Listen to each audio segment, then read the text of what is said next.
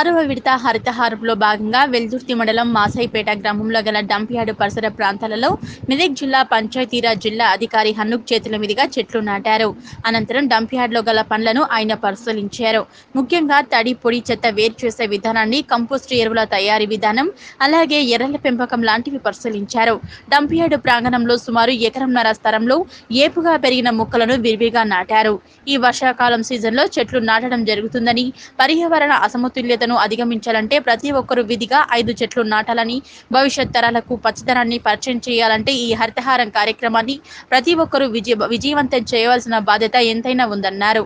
అనంతరం గ్రామ సర్పంచ్ మధుసూదన్ రెడ్డి మాట్లాడుతూ గ్రామాల్లోనే కాకుండా జాతీయ రహదారి పక్కనే గల అలాగే ప్రభుత్వ ప్రైవేటు కార్యాలయాల్లో కూడా ఈ సంవత్సరం విరివిగా మొక్కలు నాటడం జరుగుతుందని మొక్కలు నాటే కార్యక్రమాన్ని గ్రామంలో ఒక యజ్ఞంలో చేయటం జరుగుతుందని ఆయన తెలిపారు.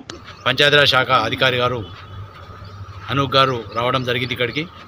డంప్ యార్డ్ దగ్గర చాలా మంచి డంప్ యార్డ్ నిర్మాణం చేసి ఎర్రలేసి ఎరువును కూడా తయారు చేసే దిశగా మేము విజయవంతంగా ముందుకెళ్తున్నాం. ఎరువు కూడా వర్మీ కంపోస్ట్ ఎరువు కూడా చాలా చక్కగా తయారైంది.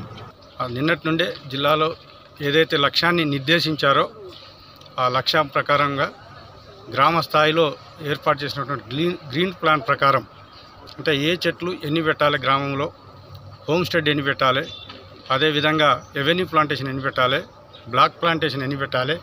తర్వాత బండ్ ప్లాంటేషన్ ఏ విధంగా పెట్టాలి? రైతులకు ఇచ్చేటువంటి మొక్కలు ఎలాంటి మొక్కలు ఇవ్వాలి? అనే దాని మీద మరి ఆల్రెడీ ఒక ప్లాన్ తయారు చేయడం జరిగింది.